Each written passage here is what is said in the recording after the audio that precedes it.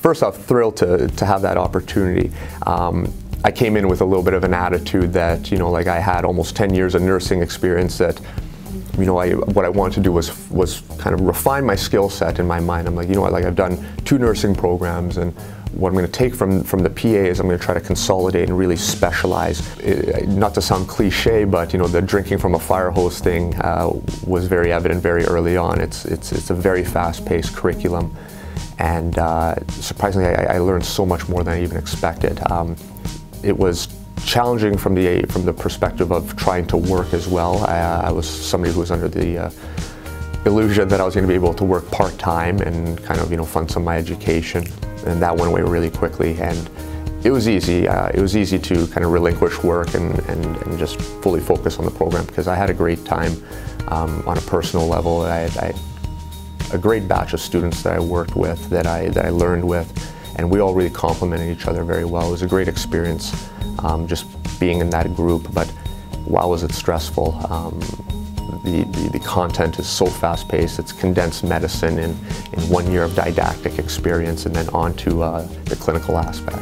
Drinking from a fire hose is a good analogy. So mm -hmm. what's involved exactly in second year PA school? Yeah, so second year we're, we're turned loose on the world, so to speak, and you know you get this condensed uh, didactic medical uh, curriculum slammed at you for one year. You're also trying to figure out what you're going to do for your capstone project as well. You're preparing for exams after the first year and you're in, in, clinical rotations at that point in year two.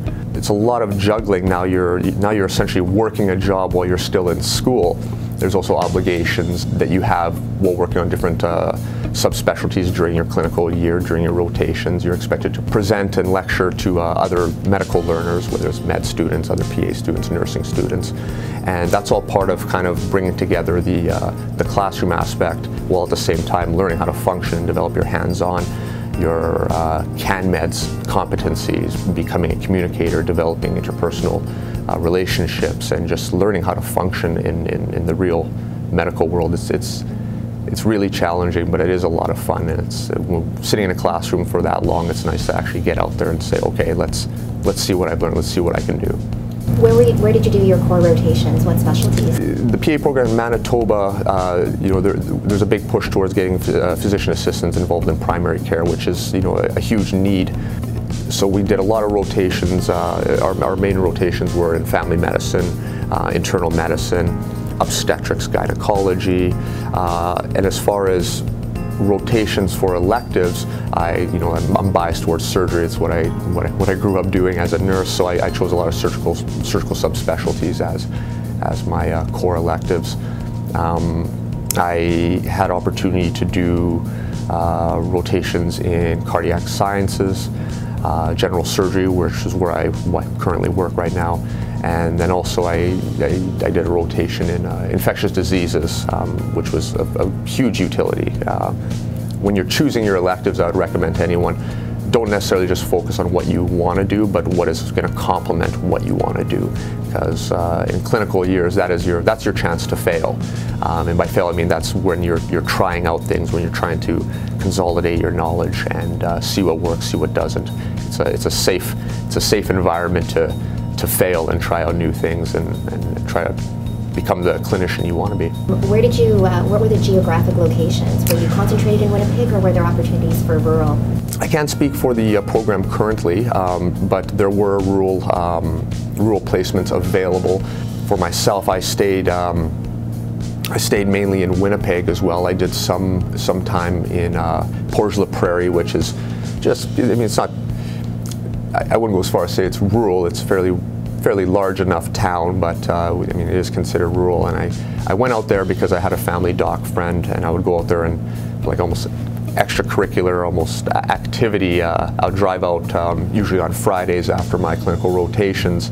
Uh, during the second year of the PA program, show up there and he'd be running the, uh, he'd be the only doc in the ER, so he was thrilled to have me there and I'll kind of tag along and kind of get a, a taste of rural medicine and you know, it's, it's, it, there's a stark difference between practicing rurally in an, emergency room versus a tertiary care facility like in Winnipeg, Manitoba.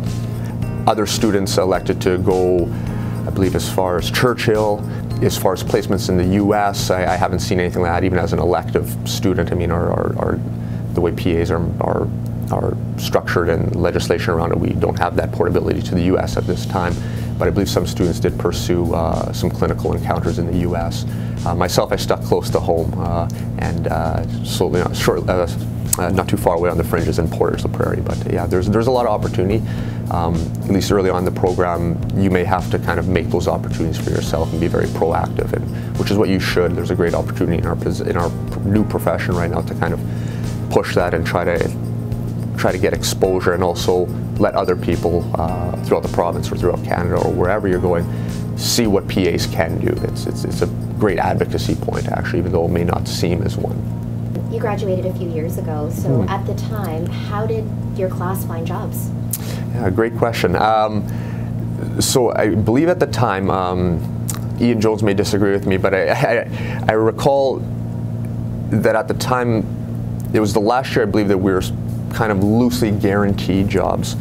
Um, upon graduation, we did have a list of jobs that were protected for newer for uh, newer graduates uh, once we completed the program, and it wasn't limited to that. I mean, a lot of uh, students went and pursued um, pursued jobs and actually, you know, developing their own positions, which is which is absolutely amazing. I see a lot of PAs doing that now. Um, advocated for it. You know, there's, you know, I want to work in pediatric neurology, but there's no pediatric neurology position. Well, how do I get there? Well, you you track down the physician. You create awareness of what PAs are. You do clinical rotations. You volunteer. You demonstrate your abilities, and it's amazing. I, I've never seen it in any other profession, but the jobs will will materialize with enough push. Um, for myself, I was fortunate. Uh, I, I, had a lot of surgery positions, which is where the the big need is right now. I mean, the models seem to be uh, more robust and better demonstrated in, in, surgical subspecialties where PAs can pinch in when the surgeons are in the OR. And there are a lot of job opportunities at the Health Sciences Center, which is it's, it's like home to me. Um, there are a lot of job opportunities in surgery there, which is what I was geared towards, and um, had a pretty good pretty good list of uh, locations to interview for and, and pick. And so I, as far as the job scene goes right now, it's, it's, it's a little bit different right now and, you know, without getting into the specifics, I mean, we all know there's funding model issues, um, uh, regulation of other provinces. So it's, it's not as easy it seems, but I think the take home message is if, if you have an interest in a certain area and that's what you want to do, um, go for it, push forward, advocate for yourself, advocate for the profession, and uh, try to carve out a little niche for yourself and for the profession in the future.